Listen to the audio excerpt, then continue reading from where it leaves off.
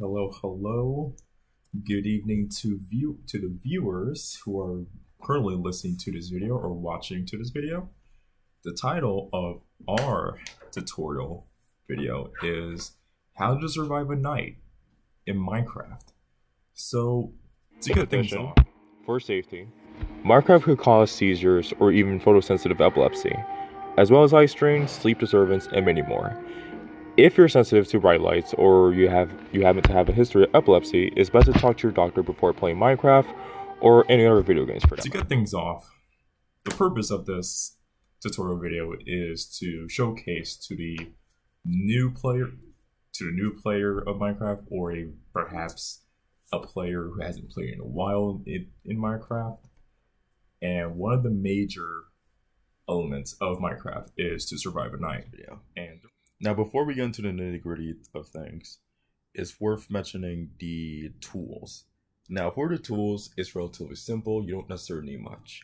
What you're gonna need is a is a system to play on. Now, Minecraft is available across different platforms: PlayStation, Xbox, mobile devices, iPads, computers, and such. And next up, you also want to make sure you have Minecraft installed in the device that you choose to play it on. This can this again can vary across different platforms, but in most cases, Minecraft works across everything. You, just need to make sure that it's up to date in addition to working out any other stuff that you need to work out. Now for maintenance, this is one of the crucial parts. So Minecraft is essentially a low maintenance requirement game pretty much what you need all you need to do is just to make sure that minecraft is up to date on the current soft on the current version that mojang has released which is the developer of minecraft. Updating minecraft not only has many benefits. This, don't, this not only ensures that minecraft runs well but it also helps make helps fix bugs performance improve performance as well as add new features that everyone loves in most cases, Minecraft will update itself automatically, but in an event that it does not happen to be updating itself, you would just need to update it manually. This is essentially just you just need to press play as if you're about to download, as if you're about to play it, and then it will just download on its own. Another issue is there's a chance that game files of Minecraft may be corrupted or damaged, and this can have a very much a very very, very bad thing on the game itself in an event that this happens, all you need to do is just to delete Minecraft and reinstall it. This usually will fix the issues or verify the game files. And then in addition, this I would say this is not necessarily mandatory, but I would say it is a big requirement. To back up, so backing up Minecraft is essentially helpful. This ensures that you have your whole game file saved, you have your world saved, and it also helps prevent data loss in case you have a hardware failure, something bad happens, life happens, and whatnot. To you, to do this, you can use cloud storage, external hard drives, or backup software to just back up your Minecraft stuff. In addition, game settings, in addition, just in the settings in, the, in Minecraft is can help improve performance and it can actually prevent crashes. What you can do in settings ranges from the likes of reduce view distance, accurately more memory to the game, and adjust the graphics settings to optimize gameplay. Re- really, this is really this is more so down to your personal preference or as well as the needs of your platform in case that it may not be as powerful as compared to a computer. In addition, last but not least, we have the controls. Now, the controls in of itself is can vary. For default, your what for default you have your default controls in Minecraft, but in the event that you might not be comfortable with that, you can you have the ability to adjust your controls to maximize your enjoyment of the game. Now on to troubleshooting. If in, if in an event you can't launch or install Minecraft, what you what you can do is to force close Minecraft. And in order to do this, you would just need to right click on the taskbar and select Task Manager, or Control Alt Delete for Windows users. You would select Task Manager and look for anything that says Minecraft in the processes section. And once you find it, you would simply just right click it and selecting and tax. More information will be found in the paper that we have filled out in the video in the YouTube video. And in addition, if you if you have issues installing Minecraft, it's best to make sure that your device fits all requirements. And once you and once it does, once you make sure that it does fit all requirements, simply delete the launcher and reinstall the Minecraft launcher.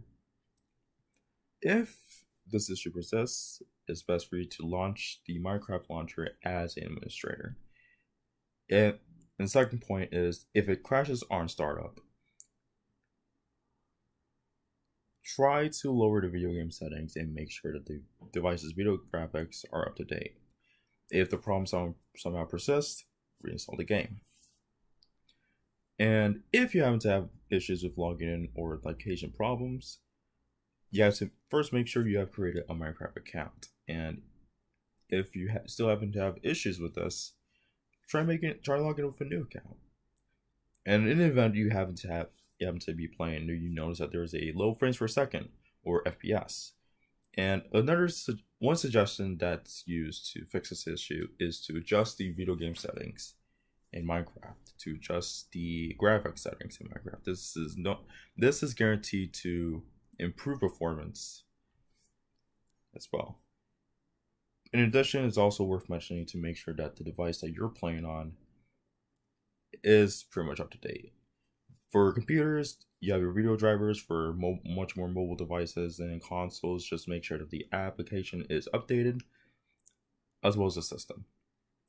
And in the event that you happen to have suffer from sound or audio issues while playing Minecraft, there here's our following suggestions that we have. You also first you have to make sure that the Minecraft sound settings are on. Make sure that the headset and headphones do work properly and make sure that you turn on audio on your device. If this problem somehow persists, try to update the device's audio drivers. Again, this is for computers, but for mobile devices, consoles, there's a set there's a settings in those two that deal with audio drives. Now with all that out of the way, let's get right into the nitty gritty of this tutorial. What you'll need to do first is to locate and go to a tree. What you're going to do next is to then punch, which is if you're playing on PC, you're going to be going to press and hold the left click and on the wood blocks on the tree until the targeted wood breaks. And you're going to repeat this next step for any remaining wood blocks on the tree that you're attacking.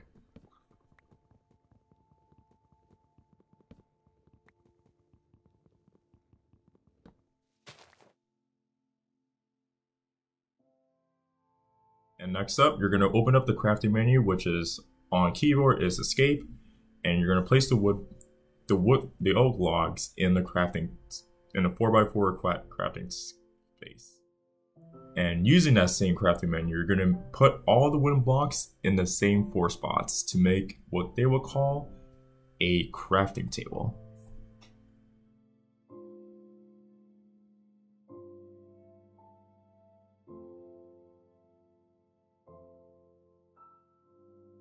What you're going to do next is you're going to then place the block on the desired spot. Now, just a quick heads up, if you want to, to place a desired block that you want to place down, you would then just left right click on any desired spot that you want.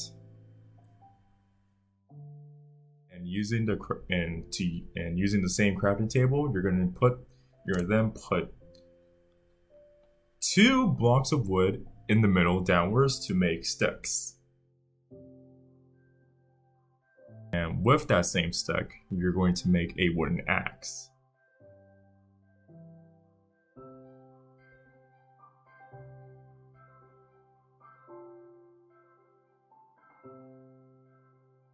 Next up, what you're going to do next is to use the axe to chop down more wooden blocks. This speeds up the process because you're not punching the tree. And you're going to keep doing this to any tree that you see in this vicinity until you've received your desired amount of wood. You're going to turn all the wood into wood planks as you would as before. And with that, with the amount of wood planks that you got, that you would have at least roughly close to three packs of the same wood planks.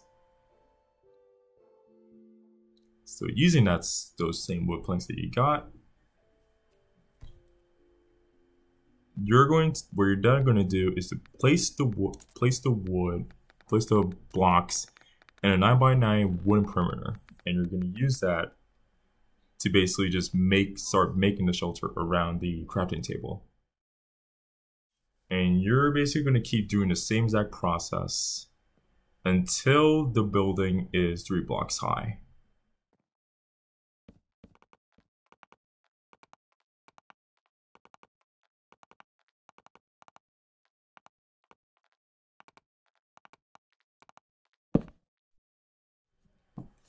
What you will want to do next is to place one block on top of your top of the three. And then you're going to break two blocks to make an entrance. This is where you'll place your door, which you're going to get to in a bit. And on a crafting table, you're going to make a wooden door. This is done by placing the wooden blocks to fill up the right side, basically. Exclude the, the far left and include and basically fill up the middle slot and the right slot. And that's how you make your wooden door. You're going to place it on the entrance that you have made. And this is where you're going to be making a pickaxe. This is done by placing the sticks in the middle, exclude the top. And you'll fill the top three slots with the wood, and that's how you make your wooden pickaxe.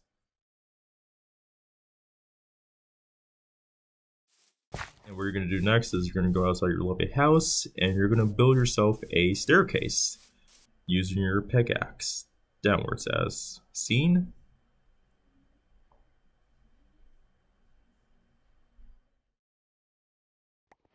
And you're going to keep doing this until you find stone. Then with the pickaxe, you're going to you're going to need to mine at least nine pieces of stone.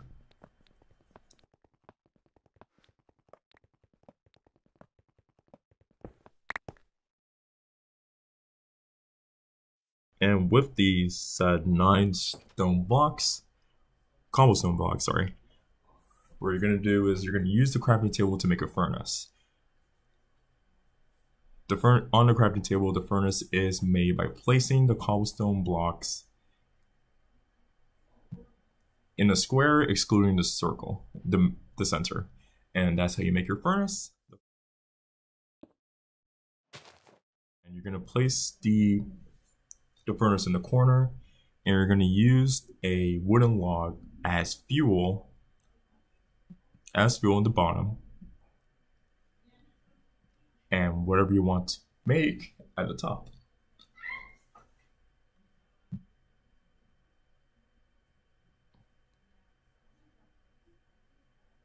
With oak planks at the bottom and the and the logs at the top, that's how you make charcoal. And using the charcoal, you're going to make a camp, a torch.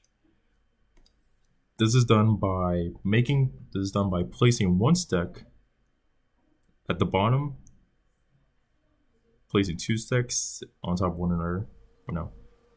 You're, you're going to make, to make a torch, you're basically going to make, put one stick down and a charcoal on top of it, which is how you make torches and place you can place the torches anywhere inside your house and that is how you make your house. And in addition if you want to you can start filling in the roofing of your house.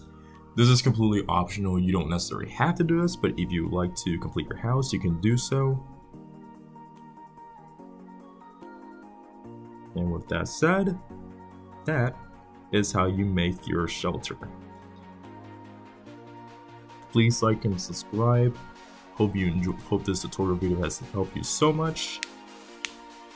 And yeah, that's it. That's it for now. Catch you guys later. Bye bye.